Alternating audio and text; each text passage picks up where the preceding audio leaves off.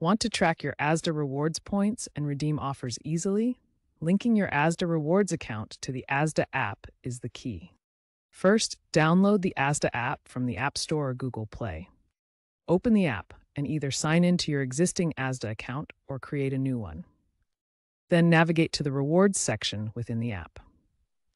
Here, you'll find an option to link account.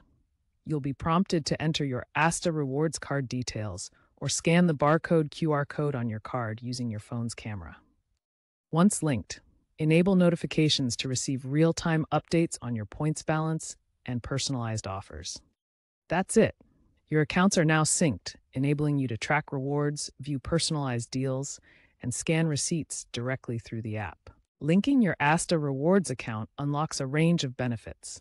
You'll receive personalized offers based on your shopping habits, making it easier to save on items you regularly purchase. The app also allows you to scan receipts instantly, adding points to your account without needing the physical card.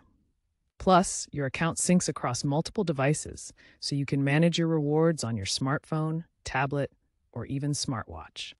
Encountering issues? A common problem is occasional app crashes, especially during peak shopping times like Black Friday. If you experience this, try restarting the app or checking your internet connection. If problems persist, Asda's support team typically responds within 24 hours to resolve issues. Ensure your app is up to date to benefit from the latest improvements and security updates, including end to end encryption for secure data privacy during account linking, linking, linking, linking, linking.